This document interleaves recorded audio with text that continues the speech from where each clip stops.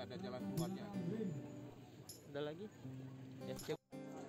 Dalam pelaksanaan vaksinasi yang diperuntukkan keluarga besar TNI atau KBT di lingkungan Lantamal 13 Kota Tarakan pada Sabtu 10 Juli, Direktur Pengawasan Bidang Pertahanan dan Keamanan pada Badan Pengawasan Keuangan dan Pembangunan Faisal turun langsung melihat pelaksanaan kegiatan vaksinasi di Kota Tarakan.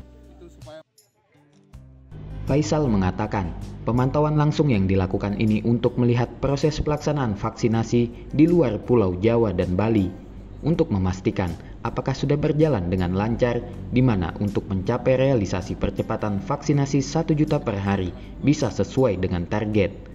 Ia menilai pelaksanaan vaksinasi yang dilaksanakan Lantamal 13 Kota Tarakan sudah berjalan dengan lancar dan memiliki animo yang cukup tinggi. Namun kendalanya ada pada ketersediaan vaksin yang terbatas. Hal ini tentu akan menjadi catatan pihaknya untuk dilaporkan ke pusat. Uh, permasalahan di lapangan ini kebutuhan apa ya, stok vaksin ya yang terbatas yang kemudian juga nanti ini kami tadi saya jadi kebetulan ini ada kaper BPKP uh, Keletara saya, saya, saya sampaikan bahwa ini nanti coba dicarikan solusinya disampaikan agar ini apa yang menjadi animo masyarakat lihat sudah cukup baik.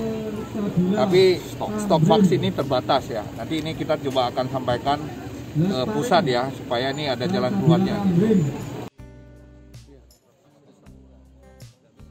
Jan Nuryansyah melaporkan